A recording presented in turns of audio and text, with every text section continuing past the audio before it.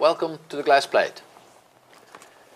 In this example, we're going to take a look at what happens to water flowing around in houses in colder climates during winter time. That water is hot and runs in a central system. Part of it goes through, say, copper tubes. And as the water is hot, in principle, the water will cool down in these tubes. And the question is, is that a lot? Should we insulate these tubing or is it negligible? And we're going to do that by estimating rather than by completely solving. And that is a very important key part of transport phenomena. Are you able to do back of an envelope calculations that give you the ballpark numbers? They will not be 100% accurate, but they tell you whether things are big or small, important or unimportant. And we're going to do that here by looking at part of such a copper pipe. That pipe has a length L, say 2 meters.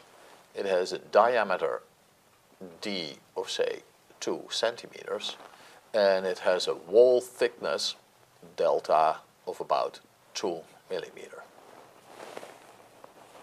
Through that water is flowing at a temperature T inlet of about 60 degrees at a flow rate phi sub v of 0.2 liters per second. The material is of copper, so the conductivity here, lambda of copper, is pretty high, is a good conductor, 400 watt per meter Kelvin. Um, and this is what we need to try and estimate what happens here once it's been flowing through. Is it still close to 60 degrees or are we down to 40 or 30? And did we lose an awful lot of heat in a part of the house or building that we don't want to? How do you do that if you can only make estimates and not a full solution? Um, that goes by order of magnitude arguing. First thing, of course, to note is that the standard approach after drawing is realizing this is about temperature in and out of a system, the tube, of the water flowing, and the calls for an energy, a heat balance. And I'm going to do that in a steady state. Um, energy in the form of heat, internal energy is flowing in. That is the mass, the volume flow rate times rho Cp T in of water. That comes in here. Same amount of water goes out, but not necessarily at the same temperature. And it is this temperature that I need to estimate. And why is that so? Well, there may be a heat loss here, which I can write according to Newton's uh, cooling law as A times U times some estimate of the temperature, and I'll call that T average minus T of the surrounding. All right, this is still generic. Now, I'm going to assume first that there is no external um, heat resistance. All heat resistance comes from the copper. That's a worst case. And then I deal with, okay, this is a kind of a curved wall, heat is going through it, but the wall is relatively thin compared to uh, the curvature, to the diameter of the tube, so for a first estimate, I can do as if this is a thin flat plate. And thus, U is then estimated as lambda of copper over the thickness delta, the thickness of the wall. Fair enough. But the problem is that I need to find T out, and I have an unknown T average that is a measure of the temperature inside. Now I can do two things. I can try and solve it completely or I can say, well, I lose most heat if this is highest compared to that one. So I pretend, just for the estimate, that it is at the same temperature of the inlet. So I assume that there is little or no heat loss and I back out whether then the temperature out is indeed very close to 60 degrees. If not, then my starting assumption that this is 60 degrees, so that overall 60 degrees is wrong. Okay, let's just do that. We assume that T here is about 60 degrees.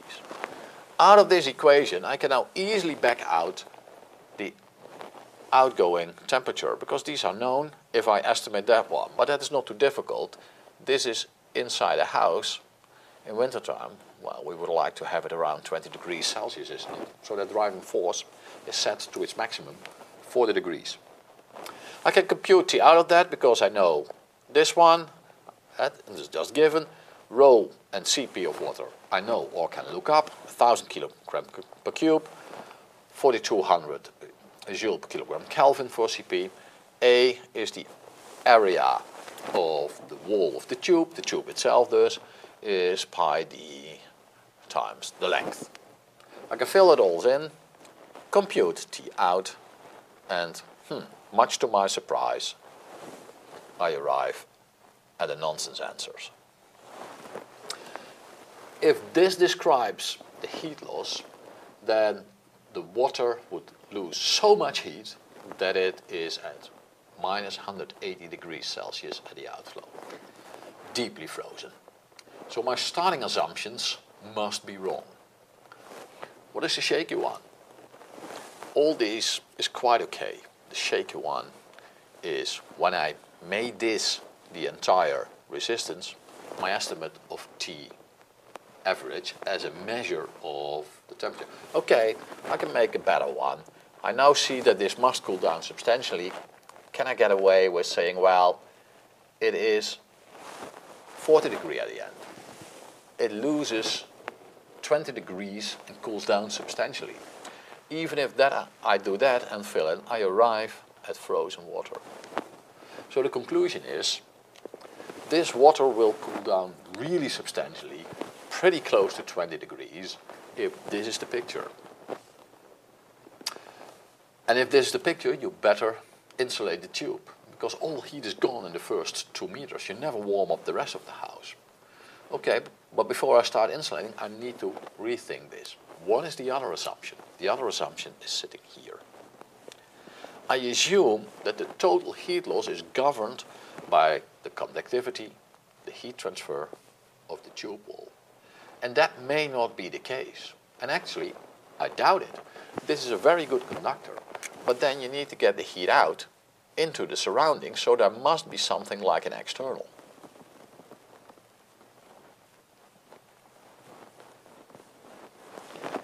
And that is in the air.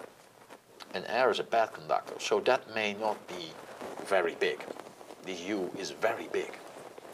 So now I need to redo this and think, huh, what if there is an external one and that is of the order of 10 watt per meter square, a typical value that you encounter in practice for these type of systems. Something that you cannot know, I give it in this example. What will be the consequence? Will we still have to insulate or not? Okay, let's see whether we can estimate what now is the outflowing temperature. What changes here? Yeah, basically U and thus consequently potentially this one. For that u, it's not so difficult. Because there are now two, an external plus 1 over the h of the copper wall, which I know, the very good conductor coming from a not so good conductor, you can just do the math here, fill this number in, and you will thus see that this is by and large dictated by the external, which is much smaller than the h of the copper. Thus, instead of using u estimated as delta copper over thickness of the wall of the copper tube. And now can do U is about the external coefficient that is given, 10. And I can redo that. And I start this one up, now in black.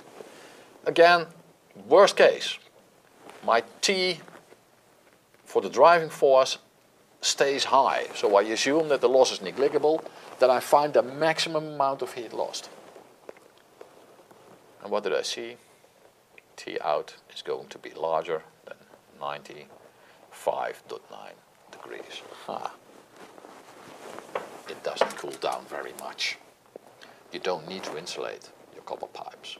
The heat loss over these two meters is very small, thanks to the air, which is basically a very poor conductor and the little bit of flow that is generated, making this number 10 watt per meter square Kelvin, nothing to worry about. You can do it, you will still save energy, but it's very little. This is a difficult example. Um, not if you follow what I do, but for yourself trying and doing that. And try and play with it. See how I make these estimates and how I draw conclusions. If you master this, this is very, very powerful. And actually, many of the transport phenomena problems that you will encounter and will solve first starts with this. I need to know where resistances are. I need to understand what the bigger picture is going to be. Then I go to the details. Good luck.